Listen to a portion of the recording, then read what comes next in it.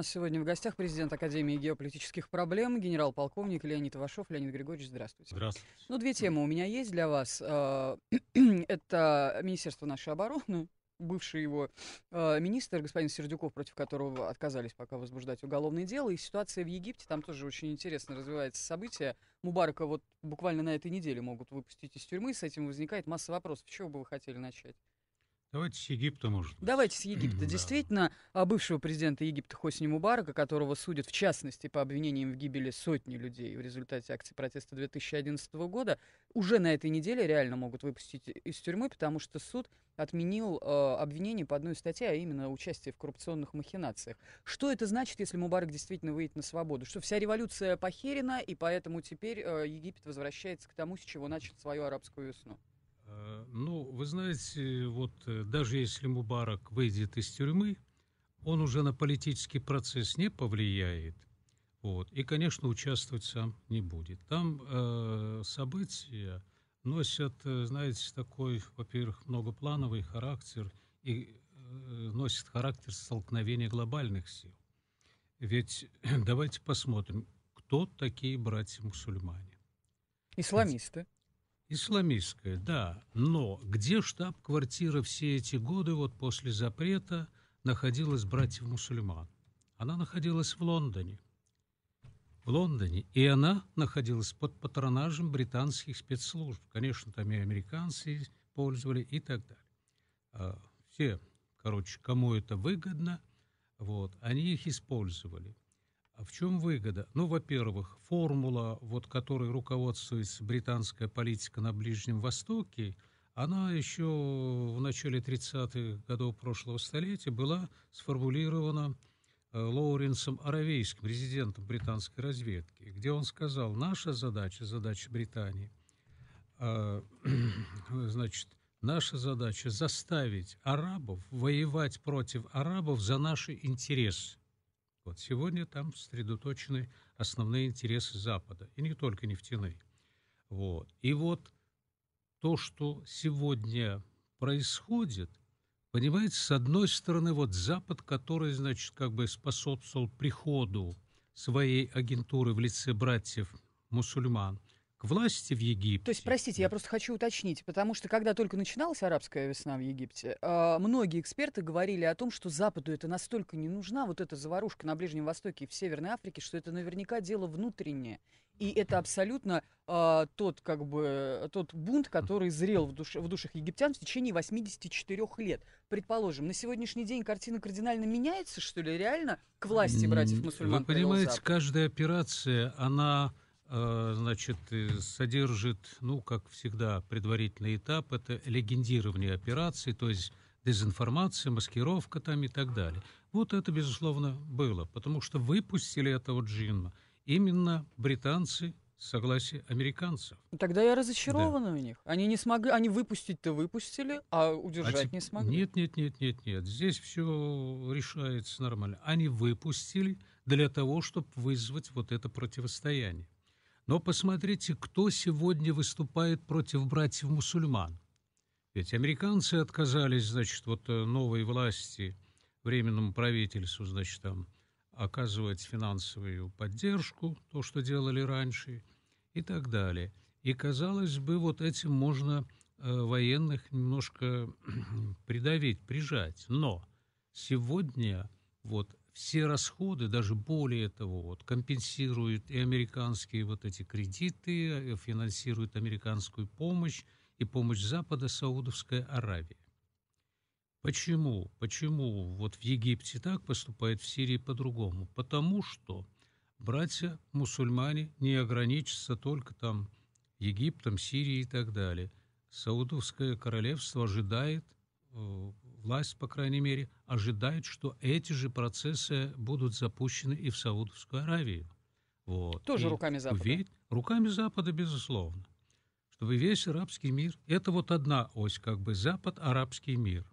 И вот то, что Саудовская Аравия сегодня работает полную и признает это правительство, поддерживает и так далее, это есть противостояние вот части арабского мира – значит, с Западом. Но есть и другая... Очень, очень интересно, что Саудовская Аравия вдруг встала э, и начала сопротивляться Западу.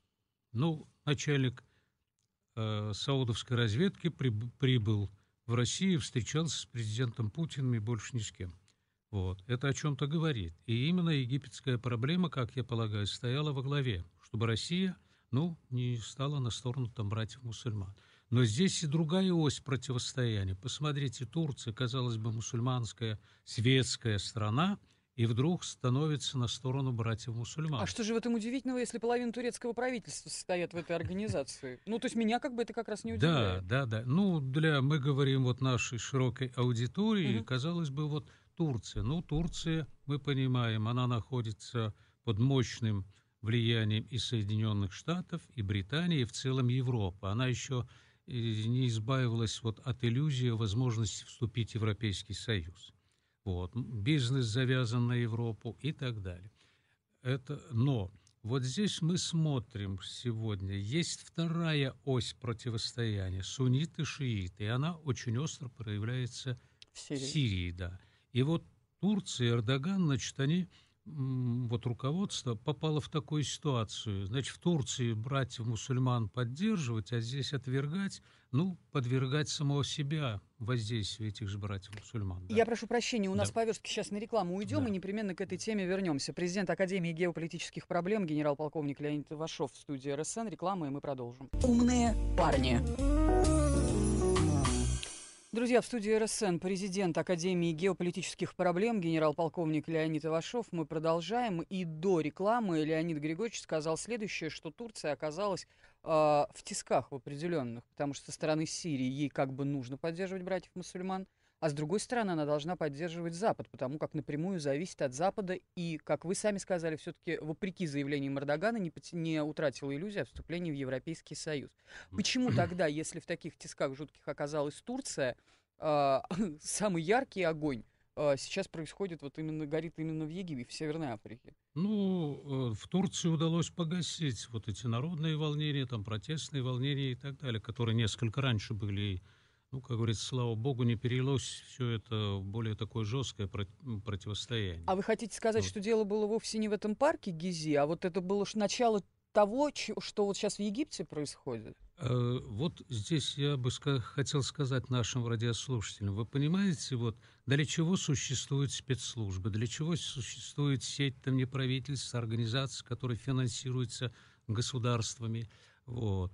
А все это существует для того, чтобы э, работать за рубежом, работать тайно, теневым таким образом в пользу своих интересов, интересов того государства, которым принадлежат. Вот. И в Турции, там посмотрите, что вот э, политик, к чему привела политика Эрдогана. Первое, Иран, там Сирия, Китай и где-то, наверное, российские спецслужбы вот по сирийскому вопросу – они должны были действовать против Сирии, против политики, смягчить. Это раз. С другой стороны, те же братья-мусульмане, вот те же курды, там и еще э, много таких этнических групп, которые не нравится вот эта политика нынешняя Турции. Нужно понимать, э, что вот исследователи наши российские и западные э, пишут, в частности вот немецкие, что в Турции коренных турок 37% всего лишь. И вот эта вот неправильная, особенно такая эгоистическая национальная турецкая политика, она сразу приводит в напряжение другие этносы. И это обязательно используют там спецслужбы.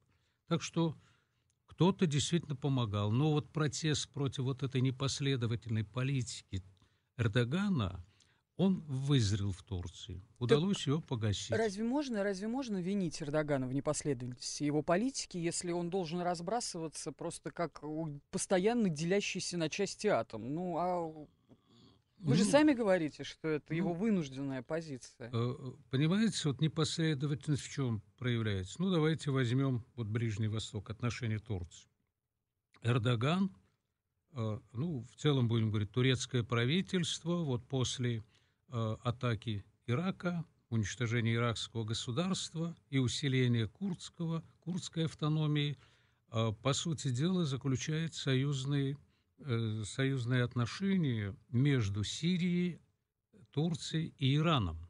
Вот. И вот эта политика, она носила довольно такой, знаете, сильный характер, что здесь вроде и претензии на роль там, лидера в исламском мире и на Ближнем Востоке, и вот эта политика, которая как бы объединяла население.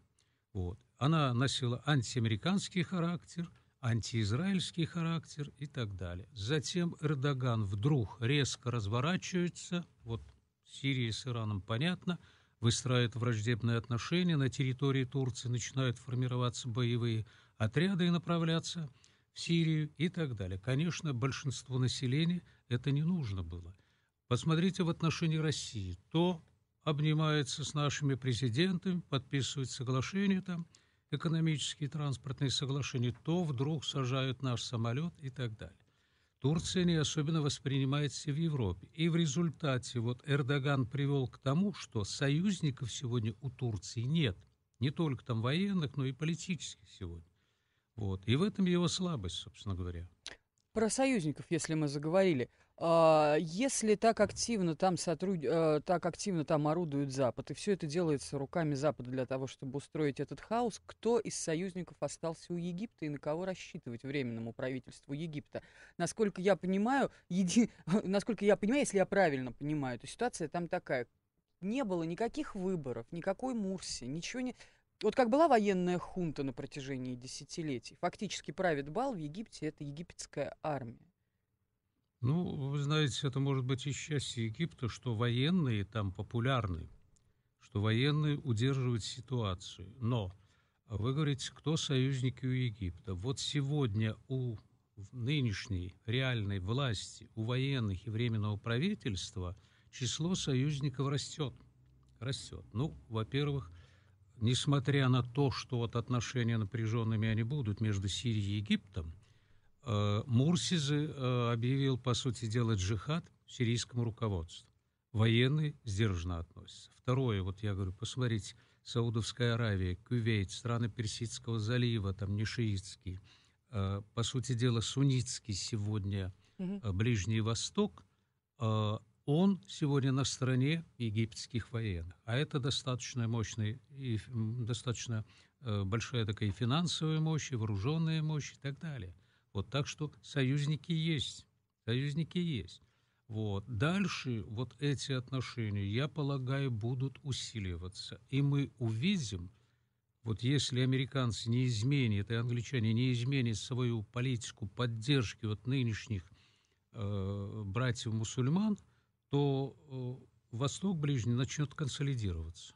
По крайней мере, суннитская его часть. Кто плюс кто? Консолидироваться в какой Консолидироваться... массе? Да ну, вот э, будем говорить о режимах, ну, естественно, значительная часть народа. Саудовская Аравия, угу. Кувейт, там, страны Объединенные Арабские Эмираты, вот, угу. Иордания, э, Египет и так далее. Вот эта консолидация будет прочитываться. Спрашивает э, пятый наш слушатель, кто играет все-таки первую скрипку событий в Египте, демократы или республиканцы США? Кажется, до Обамы Египет был всегда вотчиной республиканцев, и помощи они оказывали Египту в разы больше. Вы знаете, я, честно говоря, вот не верю в, так сказать, принципиальное различие между э, политикой республиканцев и э, демократов. Вы знаете, у Америки вот нужно позавидовать им. Не в плане действия, а в плане вот, э, так сказать, стратегии. У них есть идея. Идея мировое доминирование, мировое господство. И здесь они расходятся только вот как там Киссинджер, Бжезинский, например. Угу. Бжезинский глобальное лидерство, тот глобальное доминирование, но суть одна и та же. Быть первыми на планете, управлять планетарными процессами. Но Обама, по-моему, в крайне отличается. Идеология Обамы, по-моему, крайне отличается от этой вот идеологии мирового Второе. Лидерства. Стратегия одна и та же. Стратегия, э, политическая стратегия одна и та же. Вот нюансы уже в тактике. Кто-то больше бряцает оружием там, говорит более жесткие такие вот э, фразы, как, например, Джордж Буш, и это характерно для республиканцев. А демократы применяют мягкую силу. Какая из них эффективнее, тут сказать трудно. На одном этапе там вот как в Ирак вошли военные силы, сработали, но дальше она перестала работать, военная сила, вот, особенно в Афганистане. И вот здесь демократы применяют более мягкие способы, но достигают, если не больших, то таких же, по крайней мере, результатов. Поэтому от президентов э, зависит, американских, зависит немного. Там есть сложившаяся элита, сложившийся консенсус, спорить могут там по внутренним проблемам, еще почему-то, но в отношении лидерства или там гегемонии Соединенных Штатов и основной стратегии, что эта стратегия должна быть наступательной и так далее, различий здесь нет.